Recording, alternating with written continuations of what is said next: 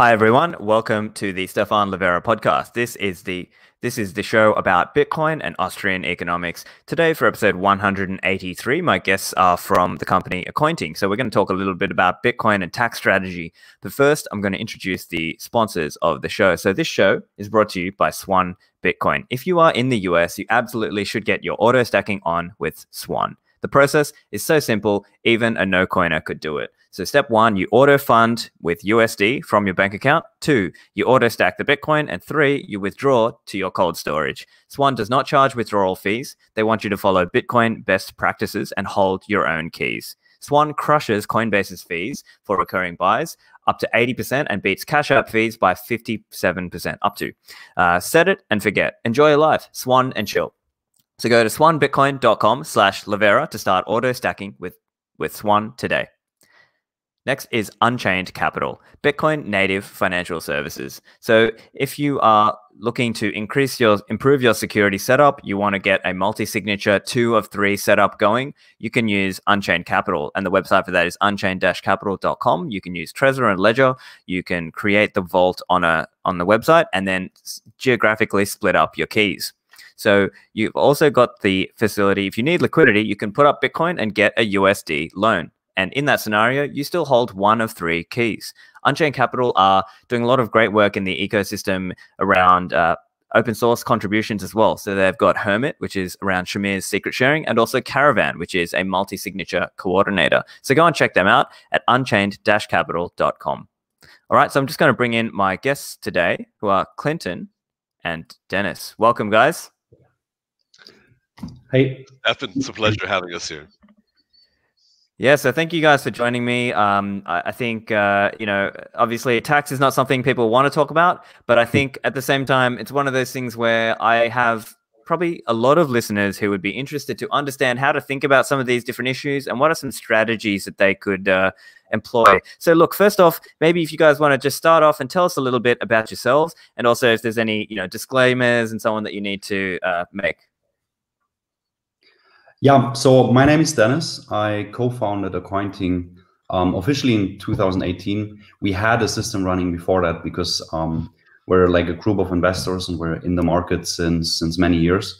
And we basically at some point faced the problem of um, keeping track of all our investments and especially back in the days of ICOs and all the things that were happening back then.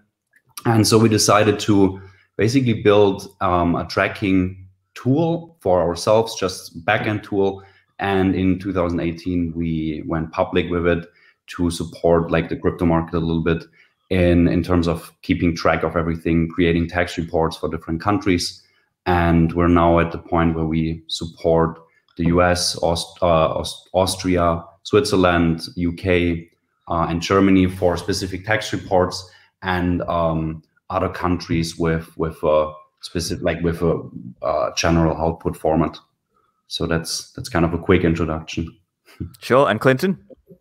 Uh, yes, my name is Clinton Donnelly, and I'm with Donnelly Tax Law. We do tax preparation and defend uh, people with tax audits of their cryptos. I do tax preparation in the United States, but I have uh, a very international experience. I have a uh, an advanced law degree in international financial regulation, including taxation. Got it from the University of Liverpool uh, in the UK, and then also I have uh, clients in 48 different countries, uh, you know, mainly Americans uh, in 48 countries, who are basically exploring, you know, the tax implications of either doing business in the U.S. or being Americans living outside the U.S. I have a significant practice with cryptocurrencies, uh, cryptocurrency return preparation, tax amnesty related to those things. So I have four books out on cryptocurrency, and uh, I do a lot of uh, speaking about it. That's fantastic. So look, yeah, let's uh let's get started. Uh, I think you know uh, the naive person first thinking about Bitcoin depending on you know how they've acquired that bitcoin they might think oh yeah i'm super private and so on what's the reality in terms of bitcoin taxes and what are some of the typical things that people need to be thinking about in the world of Bitcoin taxation? Well, uh, let me make a comment on that. The international community has decided that Bitcoin would is considered a virtual asset. It's property. It's not.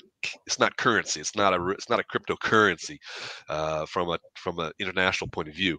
So as such, taxation occurs when you uh, sell or exchange that Bitcoin. So merely buying a Bitcoin is not going to be a taxable event. If you're hodling that Bitcoin uh, for a couple years, there's no taxes involved. It's only when I sell it or exchange it that I'm going to incur taxes. So on the gain. Now, you know, with if Bitcoin hits the moon this year, you know, what sort of thinking would your listeners want to have in terms of taxes? Because uh, the one thing about taxes, it's usually a percentage of your income. Now, on one hand, I'd say I'd wish all your your listeners to have incredible tax bills. That means they made incredible amounts of money. All right, but that being said, how do we minimize what we do have to pay and not give the government or any government more than they need to get, you know, legally? So, yep. uh, you know, that I think that's really thing. And ta- when you think about taxes, it's gonna they're gonna take, depending upon what jurisdiction you're in, 25 to 50 percent of your money that you've you've worked so hard in, in investing.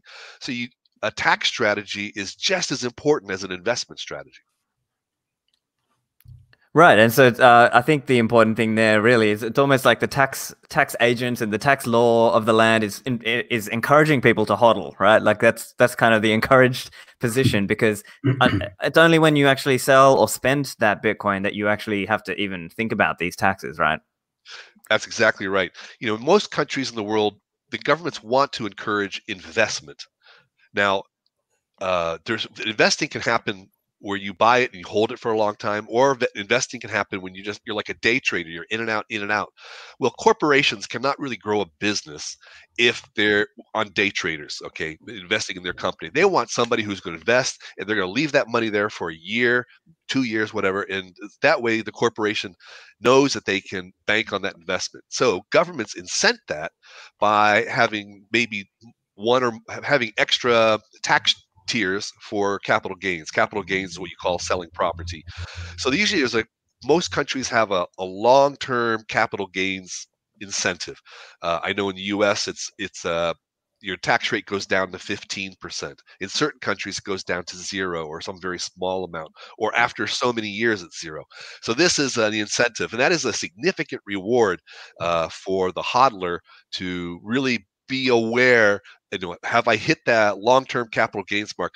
In most countries, that's the easiest, most legal eh, thing to do is to go for the long-term capital gains incentive on your taxes. Right, and and uh, my understanding as well, and perhaps this obviously varies internationally, uh, but my understanding, at least from the Australian um, uh, position of it, is that it it matters whether your income is being treated as your business is one of trading or your business is one of you are investing and speculating. And that's where, so if you're in the trading world, it's seen as like, well, your trading income, you earned $100,000, that's your income for the year. But in the, for most people, it's it's in the capital gains kind of world of it's an asset and when you made a gain you are taxed on the gain that's is that uh, essentially a fair way to think about it yeah it definitely is so like like Clinton already said it's it's a little bit different in all the in, in every country. And for example, in Germany, you have, after holding it for one year, you have um, uh, zero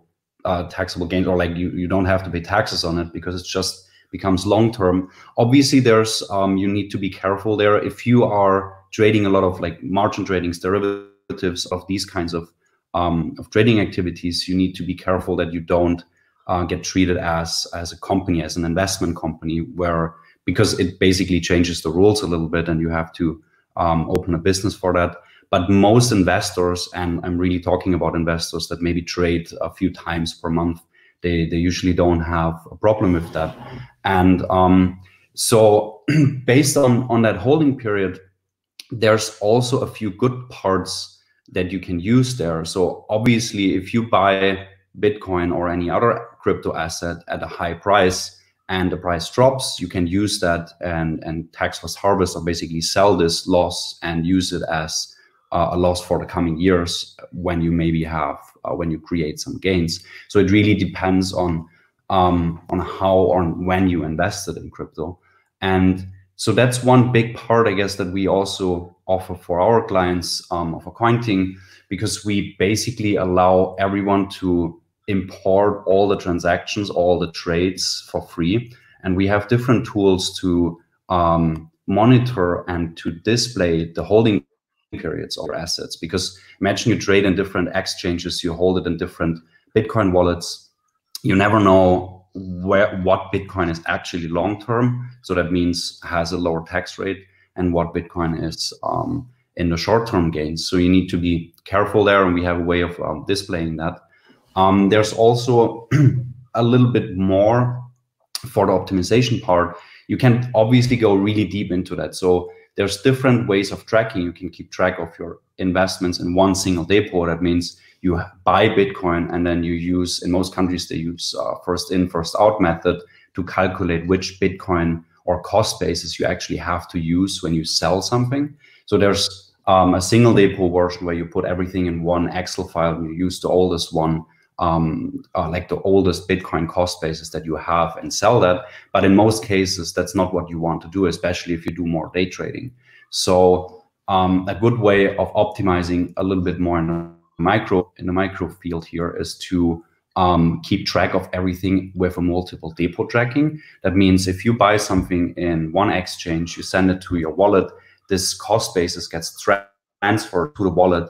And when you buy something else on, an, on another exchange and you day trade there with Bitcoin, you, you just sell the Bitcoin that are really on this exchange and you don't touch your long-term investments. And so with that strategy, you obviously can um, trade a few percentages of your portfolio and the rest you can keep separate and and uh, go for the long-term gains. So it really depends because obviously if in 2017 you would have like an investment of I don't know maybe 10 Bitcoin and they're just six months old and you don't sell them and afterwards the Bitcoin price crashes, there's a trade-off of would it be better to sell um, at that high prices or is it better to hold? So it really depends on on what you expect the market to do in the future. So it's obviously good to optimize for taxes, but not all the time when you trade. So that's really that trade-off that you have to um, that you have to use there.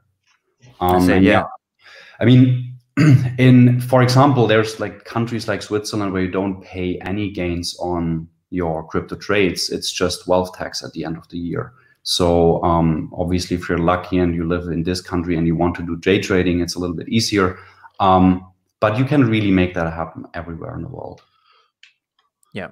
And so the first point you mentioned there was around tax loss harvesting. So um, I guess just kind of replaying my understanding of that is you, you purchase at a certain price and now the price has fallen. And now you basically, what people do is they sell and rebuy uh, to kind of lower their cost basis so that then now it, in future tax pays tax um, the future they'll have a loss that they will be able to use against their gains in the future. Is that is that right?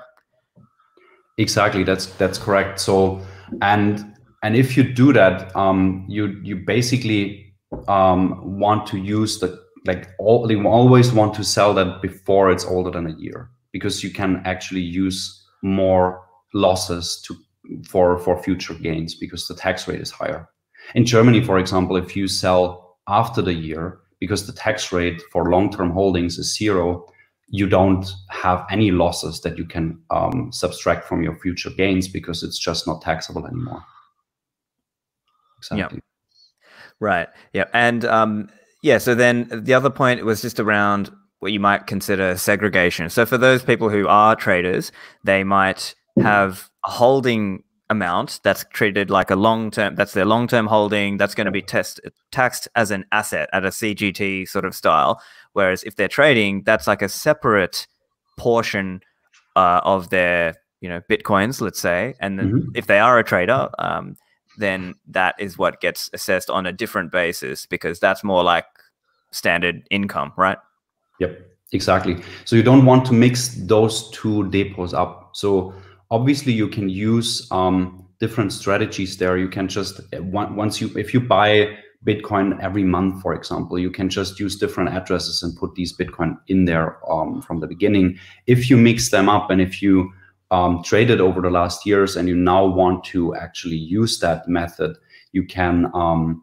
use like like I said this this um, displaying tool that we offer, and we basically tell you in which um, depot you have long-term holdings and short-term holdings and what's the trade-off between them. So it's kind of like you can basically go deep into that and analyze and then use the correct bitcoin maybe from your wallet number 10 um, to sell now because this would actually create a loss and um, on the other hand the bitcoin that you hold on coinbase would create a gain right so in the end you sell one bitcoin but you can sell the correct one um, in order to create a loss with that trade yeah. And uh, I'm also curious how people typically deal with it when they've got multiple wallets or multiple exchange accounts. What's the typical way that uh, you and your your customers normally deal with that? Yeah. So we we just allow um, our customers to connect um, their exchanges directly, either with an API or direct connection if the exchange offers that. Um, for Bitcoin and for other blockchains, we have an import of like all the historical data through an XPub, YPub, or just normal um, Bitcoin addresses. You can then combine that all in in one in one portfolio, and we keep track of all the things that like of entire money flow in your in your system. So that means if you send something from like from your first exchange to your Bitcoin wallet, we have um, that connection through the transaction ID, and we create so-called internal transactions. And these internal transactions are not a taxable event.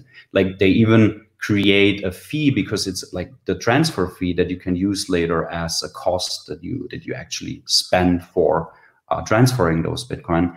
Um, and we use that internal transaction to you to transfer the cost basis from this first wallet to your second wallet, and we always keep it with with that Bitcoin. And so that's really nice because you can with that actually go back and really deep dive into that money flow and you have everything completely tracked it's obviously not not not all like it's it's it's really nice to have that not not only for tax purposes but also um, to prove to your bank where you got the funds from i mean a lot of banks especially if you if you trade with higher amounts they want to know where you where you got that investment from, right? Because it could be some money laundering activity. If you can track the entire history, that makes that easier. I see. Yeah. And so that's one way where you sort of aggregate across all of your wallets, all of your exchanges uh, into one thing. And I guess the other part is you, I guess, if, because when you sell, that's a capital gains uh, event uh, typically. And so it's kind of just you want to sort of have the record there to say this wasn't a sale, this wasn't me spending, this was me self spending, right? And so that's not treated as a capital gain, etc., and therefore not taxed on that. Exactly. Or you even yeah. use it as like you, you, send a gift or you um, you did some other activity with it, right? So you can just prove where where it went.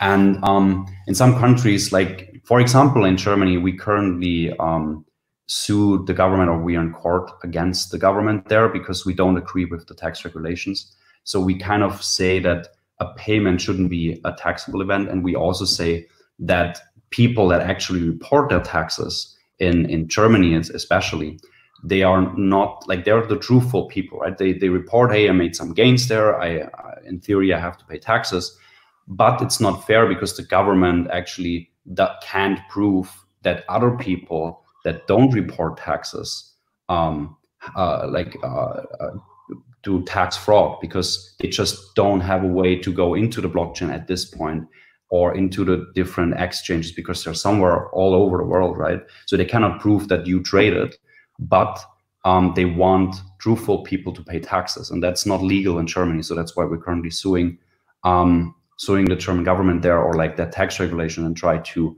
make it clear to them that it's either they can do that for everyone, which I doubt they can, or they, they are not allowed to, to file taxes um, on crypto investments or on crypto trading. So that's kind of like one part that we try to to do for for the German community at least. Um, and Clinton knows more about the US part, and there's obviously also like some really exciting things happening in the future. I mean, there's uh, a few discussions, right, where they they try to not treat payments as a taxable event, which would be obviously really nice. But I mean, um, considering all the things that are happening in the market with Lightning, with uh, all the DeFi that is coming into the market, I, I don't know how they want to do it. Like right, yeah. So let's talk a little bit about that. So this idea of payments and the taxation that occurs on them. like theoretically from the capital gains tax point of view. So I guess what you're getting at here is, I don't know, for example's sake, let's say you buy hundred dollars worth of Bitcoin, and then later it's two hundred dollars worth of Bitcoin, and then if you now spent, you know, a portion of that, then like I guess the point you're getting at there is theoretically there is a capital gain on which, um, you know, like it, it, government uh, want their pound of flesh on that, and yeah. so what what are some of the different ways that is treated from a you know taxation law perspective? Well, you got the challenge. I mean, if I sell Bitcoin and buy uh, a car, you know, so I have capital gains when I dispose of that Bitcoin. I bought it at a lower price. I'm selling it at some higher price that's equivalent to what I'm paying for the car. That's the capital gains. And so we see countries like uh, Portugal who are saying, well, if you pay for Bitcoin, we're not going to have a VAT tax involved, which you can start to see. Well, hey, that's kind of a duplicate tax here, a VAT on, on top of a of a capital gains. So you know, and then um, in the U.S., they it's just the sales tax. The tax is on what is sold, not the means by which you paid for it. So it's a little bit different structure. But you know, really, cryptocurrencies are just turning the the tax um, regimes upside down because we see here with with a blockchain technology defi and smart contracts and all these really exciting innovations are just transforming the financial industry and turning upside down our whole notion of currency and property. And uh, especially from a tax and accounting point of view uh, you know, and, and as uh, Dennis was mentioning, his own company was how how do we do accounting when we're no longer trading in in fiat currency, we're trading in in a in a a Bitcoin, you know, and it's an asset that's constantly changing value relative to the fiats into which we have to report our our, our uh, business results in to the tax authority. So it's it's it's everything's getting very complicated. And what we're finding, the tax authorities are finding is that defining cryptocurrencies merely as an asset, merely as property, is really not adequate hmm. uh, because it's changing so fast. Uh, it's becoming far more than mere property, nor is it adequate to call it currency because it's not embraced by one government and all that's involved in that.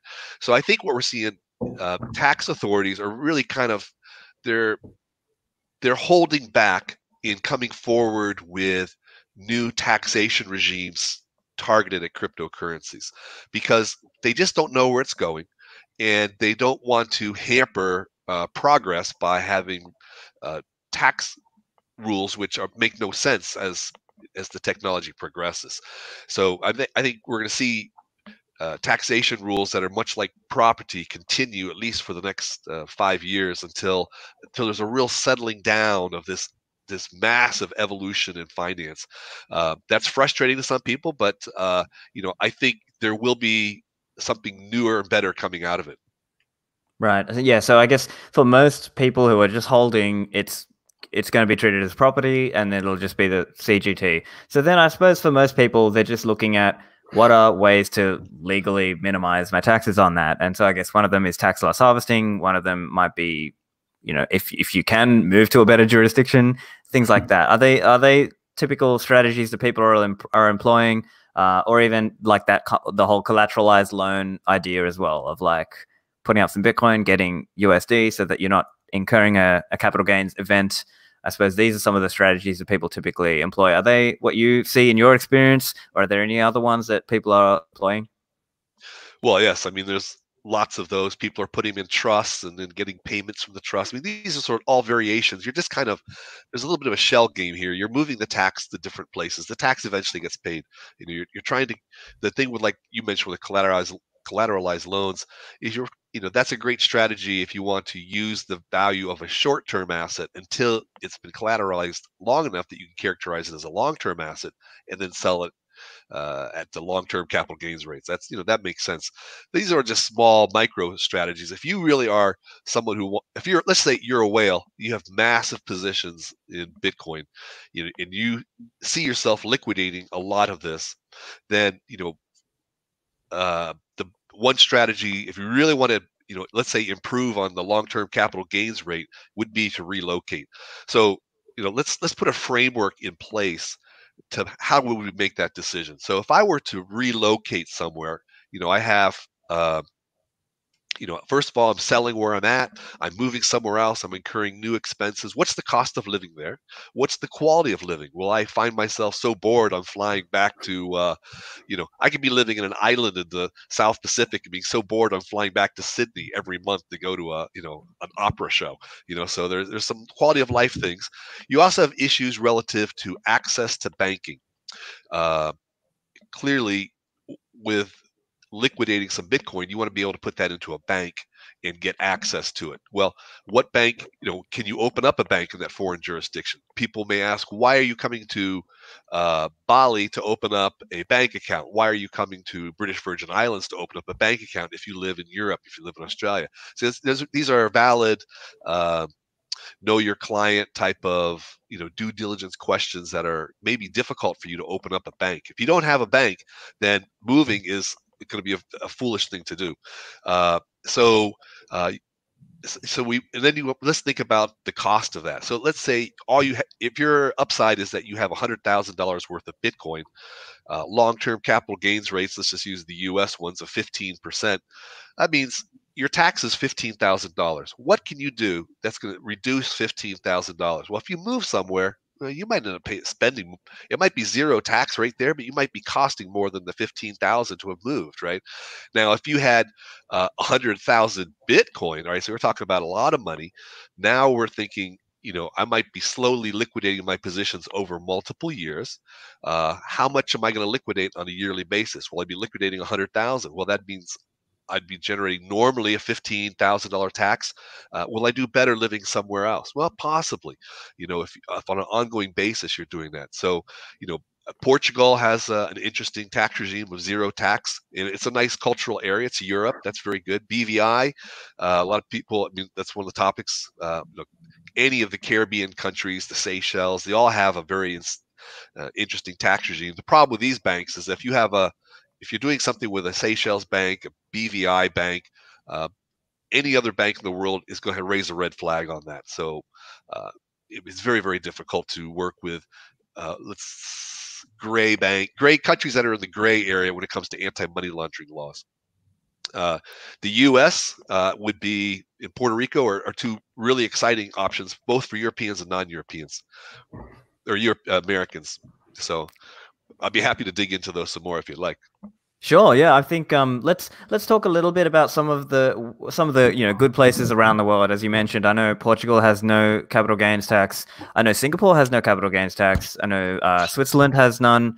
Um, and then so Germany, as you mentioned, Dennis, I think if you hold for more than one year, there's no capital gains tax. So I think it's kind of like depending on where you look around the world, there might be some places that are a little bit better and others not so much. Uh, but what are what are the ways that people would explore if they were to like let's say they had enough that it was worthwhile for them to consider moving. What are the ways that they would explore that? But Let, us take the situation of someone who's not an american. I would propose to you that the best place for your money uh, your, to invest is the united states. It is the largest tax haven in the world. Uh, and it is because the financial industry is a very important part of the U.S. economy, and they've created very strong incentives to attract foreign money. Particularly, uh, there's zero capital gains if you're a foreigner uh, on your assets, uh, on crypto assets in the U.S.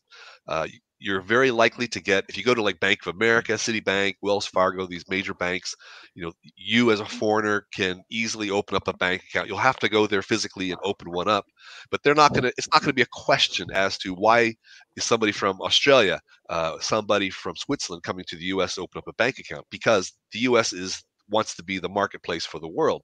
So that's not a problem. And you want these major banks because they're accustomed to international wire transfers. If you have an account at a U.S. bank, uh, nobody's going to question that from an anti-money laundering perspective. If I'm trying to transfer money back to Australia or, or other things, you know, it's widely respected as opposed to like a BVI bank or credit card. Uh, and the other thing the U.S. does that um, is the information sharing between countries about how much money uh, citizens have in foreign bank accounts. Uh, the U.S. has one called the FATCA law. All the banks in the world have to tell the U.S. IRS twice a year about American bank accounts in foreign countries. Uh, in response to that, the OECD countries created the Common Reporting Standard, (CRS), which uh, at this point I think about 100 countries have signed up to, where once a year they will report back to the citizen's home country the total amount of your bank account. So uh, the U.S. didn't sign that. The U.S. didn't sign the Common Reporting Standards. The U.S. You have a bank account in the U.S. The U.S. doesn't tell any other country about it. So, you know, it's kind of uh, uh, ironic. I, I, guess that's maybe like the bully.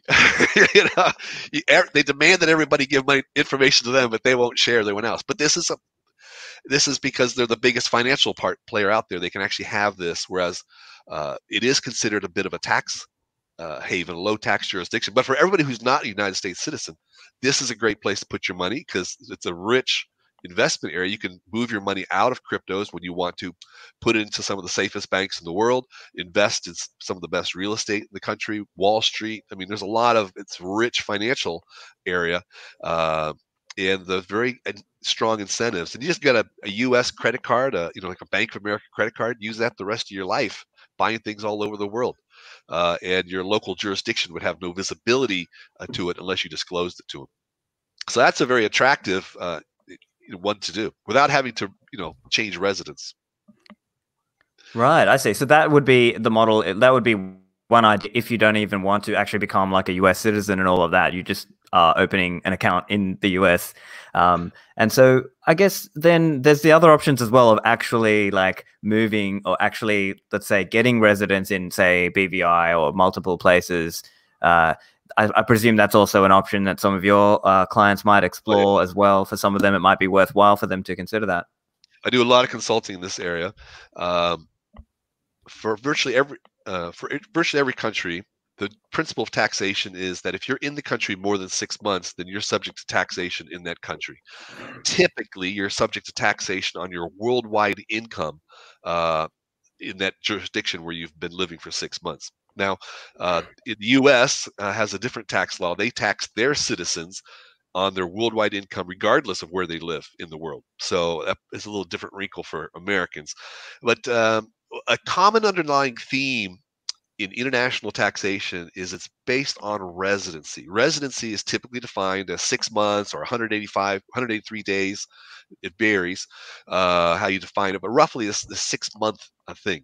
So this creates a massive international tax loophole, which I would call a, a three country shuffle, where if you're if you're never more than six months in one country in a the given time period, then you can just keep moving around. It's kind of like the digital nomad strategy. You keep moving around. Nobody's you're not going to have to report taxes to anyone.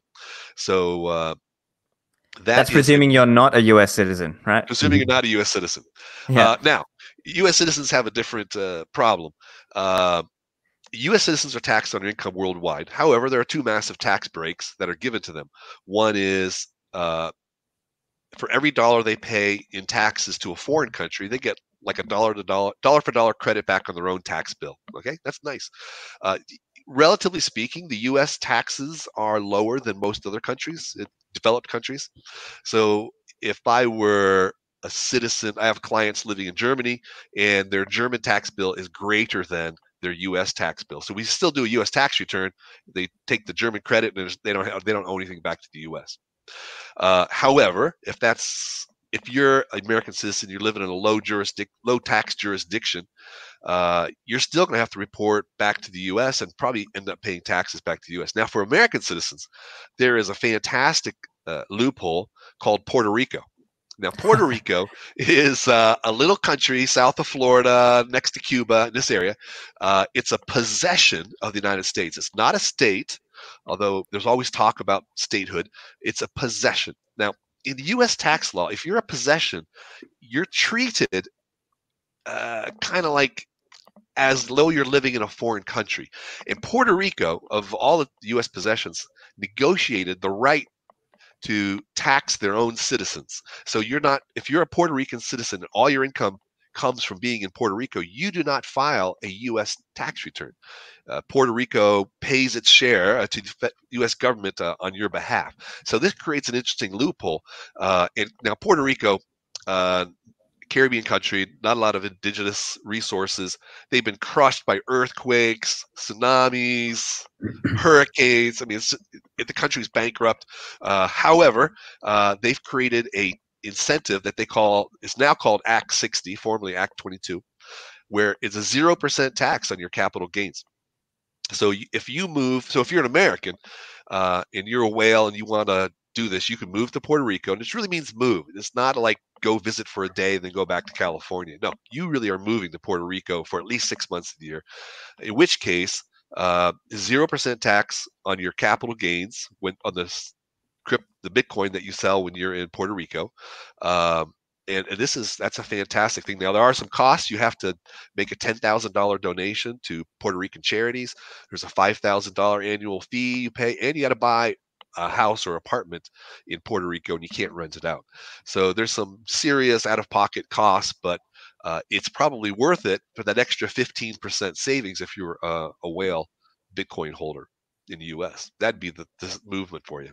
Fantastic. Yeah. So that's a very, very nice breakdown there. So I guess break, uh, breaking that down. So if you're a non US uh, person, then it might make sense for you to do this whole three different countries different residencies, etc. But if you're in the US, potentially one idea is moving to Puerto Rico. Uh, one other idea I was interested to discuss, or related to what we were just saying, is what it takes to break your nexus with your home country, right? So, as I understand, it's kind of like you have to sort of break that. Uh, as you said, it's mostly about the six months or 180 days aspect. Are there any other things there that people have to think about in terms of uh, breaking that connection so that they uh, can be uh, can access the you know lower tax rate? Uh, usually, getting a divorce helps. I'm just silly. Uh, but yeah, I mean, usually it's like, oh, I want to go back to visit mother, that sort of thing. You know, you're there is a bit of travel to it. I mean, you're basically, if you take that strategy, you're at least saying I'm going to be outside uh, depending which country you're from, outside of that my home country for you know nine to eleven months of the year at least. So, um, and I would say uh, a couple things to think about. There are you know think of cost of living. Think of uh, creating for your family. Uh, you know awareness of other cultures okay speaking other languages and uh, you know, eh, there are websites. I think uh, if you search for expat costs living in different cities, there's a couple websites like um, uh, ex, um, I don't come or something like that. I can't remember now. Yeah. There's several websites where you plug in, you know, two cities, and they'll tell you the comparative cost of living.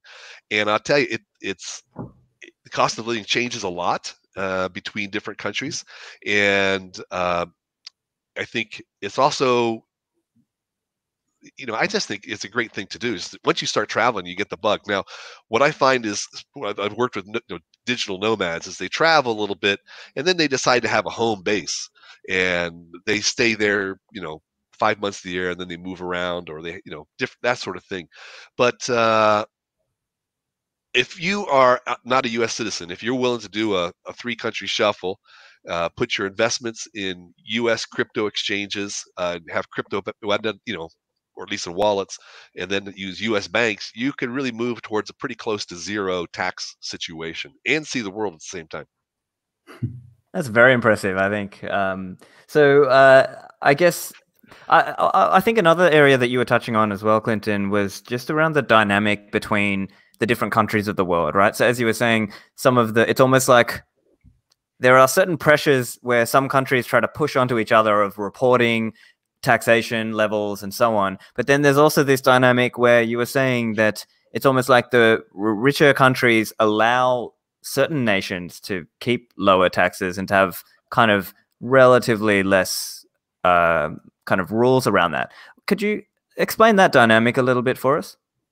Well, there was a real concern as right before globalization in the 80s, starting in the 80s, that we had issues with um, international drug trafficking. We had uh, people like Ferdinand Marcos in the Philippines who pretty much uh, looted his own country and took the proceeds and took them to Swiss and Liechtenstein banks and trusts.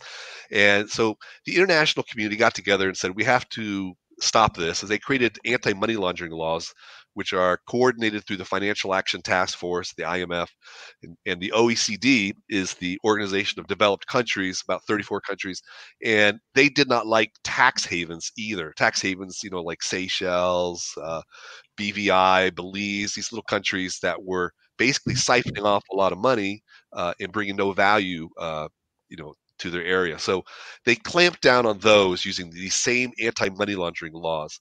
Uh, and what that ended up doing was it forced people back to the OECD countries. It basically made it a club of the haves, right? Uh, so you know the OECD countries treat themselves as uh, a, you know a plus countries for putting your money and everybody else is uh, dodgy and gray and don't want to trust them so uh, that really crushed the small island uh, tax haven network uh, but at the same time uh, like in europe they realize in europe we have rich countries um, germany um, France, but we also have very small countries, Luxembourg, Netherlands, who have very small revenue streams, uh, and they need to allow them to have a more latitude to have incentives or lower tax options to bring business there. So, well, EU is very good about that, but uh, other countries in the world have to fend for themselves.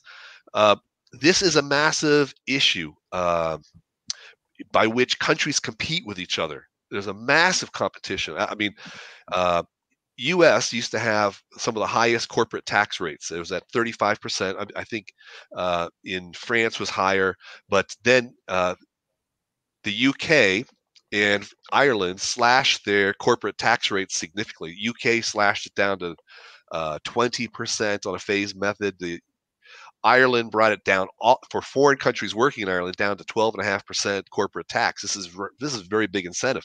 This is part of the reason why Google, Facebook, Apple all moved their call centers to Ireland. So a couple other reasons too. But uh, you know, so what the U.S. did in order to change its international competitiveness is they slashed their corporate tax rates down to 21%, which makes it exceptionally aggressive, and the, it's designed to bring big companies who might have been in other countries bring them back home to the US. So there is a real war uh, going on for the tax revenues of multinational corporations uh, by countries that are uh, lowering their tax rates to bring them in. So this is only going to get more uh, competitive, and it's going to be as people countries start to do that, they're going to have to fund it by putting more of the tax burden back on uh, the individual. Uh, I know, like in the U.S., I was looking at a pie chart, and uh, individuals pay roughly 80% of all the taxes in the U.S. to the, to the IRS. The rest of it's corporate taxes. Now, the argument would be, if I put a tax on uh, companies that make shirts, and you go and buy a shirt in Australia, Stephan, then mm. your shirt is going to be more expensive because you're paying the company's tax. All right. So company taxes are indirectly a tax back on the individual. Now, we as individuals can vote with our feet, just as I talked about a three country shuffle and you know keep your assets in the US. You know, we're seeing the exact same struggle in the U.S. We have some really high tax states like California and New York, and because of uh, uh, remote offices and, and this sort of thing, people are starting to flee out of the big states, out of New York and out of California. They're not willing to pay high property taxes, high sales taxes, high income taxes anymore. So uh, we're in a period of, of transition where we as individuals have a lot of power to change the tax dimension of our life and to make sure we're getting as much value as, as we can out of the money we're having to pay. Oh, that was oh yeah, that was an incredible breakdown. Actually, we saw a really cool comment. Uh, Stephan, this is awesome information, man. That was great, um, great uh, information there, Clinton. Um, I think one of the really interesting things there is that dynamic that you were teasing out there. That there's this kind of competition between different countries, and for some of the smaller ones, like say the BVI or Vanuatu, and some of these other small countries, part of their competitive way they the way they compete is by having you know low tax and so on. And so and and some of them for some of them the i guess the offshore investment or the citizenship by investment programs that they offer are part of a good part of their taxation the part of their revenue. That's part of their kind of way how they kind of make oh, yeah. money i guess. Interesting country uh, in south america is a country called panama. And uh, panama is uh, very interesting it's kind of um, it's its own country, but everybody knows if if anything gets unstable there, the U.S. will invade it in a heartbeat because of the Panama Canal. Now, what happened is Panama has uh, a tax regime where if you draw if a company or an individual drives their income from outside of Panama, then it's not taxed in Panama. Okay, so it's a real territorial system, a true territorial system. So, what's happened is that multinationals who want to do business all over Latin America set up their headquarters in Panama. And they, they make all their money in Latin America back in Panama. Panama doesn't tax it because it's derived from outside of Panama. All right. Um, so this is just a phenomenal arrangement that has enabled Panama to attract incredible amounts of business because almost all the Latin American countries are unstable. Argentina, Brazil, Colombia, Venezuela. I mean, it's a it's a very unstable mess there. But Panama has the strongest banking system in all of Latin America. Problem is, it has a little bit of a shady tax haven. Was blacklisted once, and you know, it's got a lot of issues. It's moving to progress and improve things, but uh, I would keep an eye on it. Uh, also, so if you are an individual uh, living in Panama, you're not American citizen, so any other country, they're not going to tax your income if you're a remote worker because you're getting your income from outside of Panama. And it's a nice tropical country. They speak Spanish, a little bit of English. Uh, you know, great airport. Right. And so uh, I guess the, the other thing there is uh, the question of getting like residency, citizenship, and so on. I mean, you might not necessarily need citizenship, but you just might need the rights to live there and work there. Uh, that kind of thing. Easy. Go to Panama. You put down. Uh, you open up a bank account. You put twenty thousand dollars in the bank account, and uh, you get a lawyer about three thousand uh, dollars. They can get you what's called a friendly nations visa. This would be forty-five countries that uh, Panama likes. Australia is one of them. You know, all of Europe, pretty much. Uh, you get a friendly nations visa, and you now are a permanent resident of Panama. You need to go visit two weeks every two years. Uh, but otherwise, you have you can set up bank accounts uh, and you'll have residency there, and you can travel all the world. Still say you're a Panama citizen. Keep your bank op, your business operating out of Panama. You know, so you're not going to be taxed because the income's from outside of Panama. Very unique regime. Yeah, uh, it's, it's interesting because uh, I'm thinking back through kind of Bitcoin, uh, Bitcoin people or people who've uh, famously attacked Bitcoin. People like Peter Schiff, he talks about. Uh, well, he's in uh, Puerto Rico, as I understand, and I know. Um, I think even like Eric Voorhees has talked. Went to. I think he. I'm not sure. correct me if I'm wrong, but I think he might have gone to Panama at one point. Um, but I think the other point I wanted to raise as well is obviously everyone's got their own different view on you know the justice of taxation and AML laws. Obviously, you might be against them, but I think one factor that is potentially playing in the favor of the individual is that well, I think a common book that a lot of people read is The Sovereign Individual. And part of that is like this idea of going to better countries or going to better jurisdictions for better tax laws or, or other laws as well. And so I think perhaps it's like most people grow up and they have this inertia. Okay, I grew up here, so I'm going to live here and I'm going to die here, kind of thing. But perhaps we're moving more into a world where people can work remotely and then they can start accessing some of these overseas tax uh, planning and overseas tax structuring that may improve the level of competition between the different countries and ideally keep it a bit lower for the individual. But what do you guys do? You, what do you guys think? Yeah, I mean, yeah, I think that's I guess it's really one big part, I guess, what Clinton also said is just you have to think about where you want to spend also like the next years, right? I mean, as out of my personal experience, I moved to Switzerland to Zug, like to the crypto valley, or that's at least what they call it, because um, we also started our company there. It's obviously uh, a tax haven for people from Europe because you can easily move there. Um, it's just you have to think about all the consequences, right? You for example, you're not allowed to keep a key to your parents' home when they live in Germany because you're just not allowed to have a residence in another country then. Otherwise, this other country would tax you on your crypto income.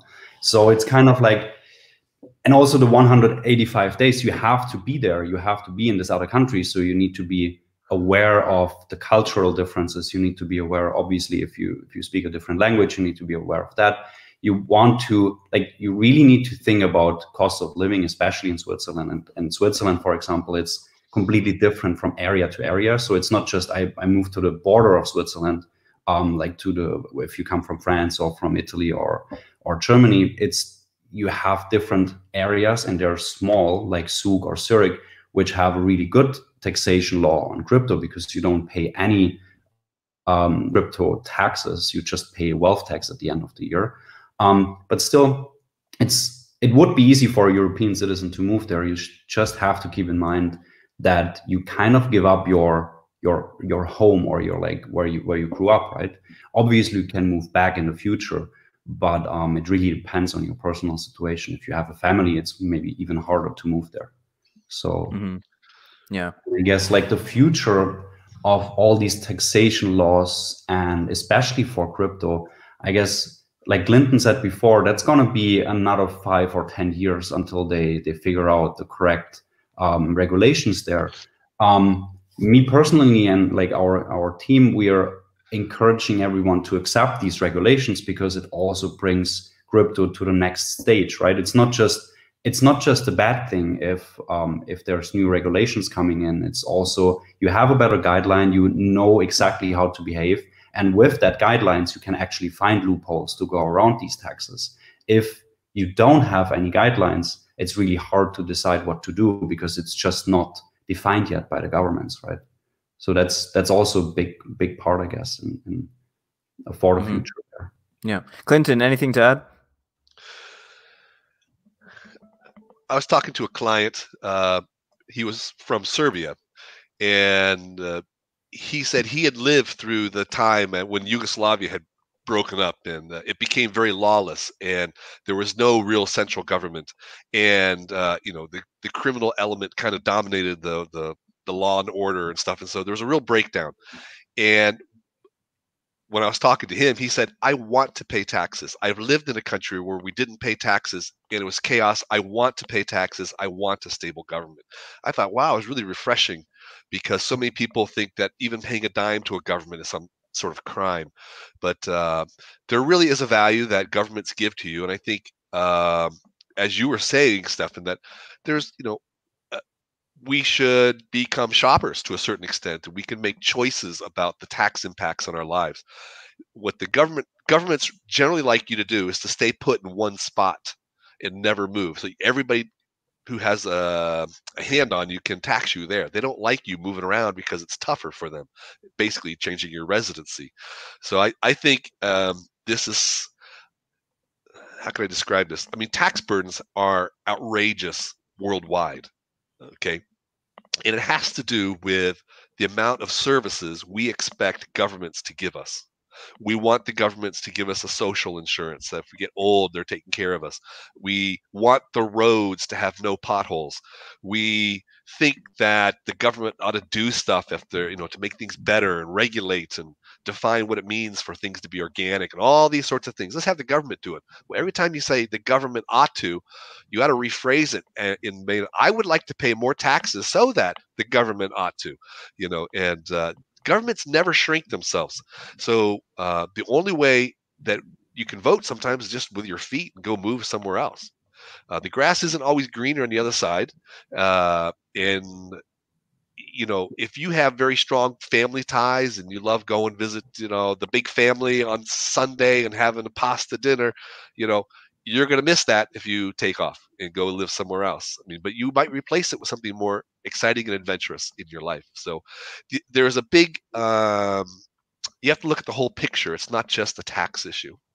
Of course, of course. I think um, those are worthwhile points. I think it just kind of depends where on your view of how things play out. Like maybe you believe there would be, you know, private provision of these other things, uh, and you know less taxation to the government and more just kind of you just pay privately and hopefully that those private services might do a better job. And maybe that's the way you would think about it. Um, but obviously you've got to i think the, the key point here is kind of assess holistically. And i think talking about and understanding how the taxes work is one obviously one important part of that picture.